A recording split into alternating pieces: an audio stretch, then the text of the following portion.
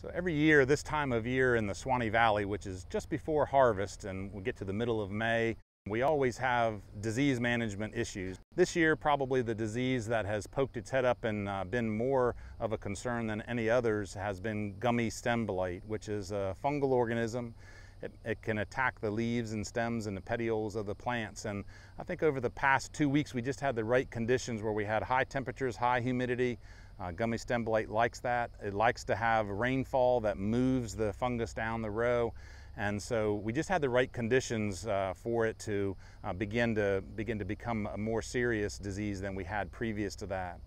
Our county agents keep a close eye on this and, and, alert the farmers in their county to know that we're having an outbreak of gummy stem blight and that they need to be able to respond quickly with some preventative management strategies that would be available to them. For those that are curious and haven't heard about this, contact their local county extension agent and we'd be able to, to provide for them the best recipe for managing gummy stem blight for the remainder of the season.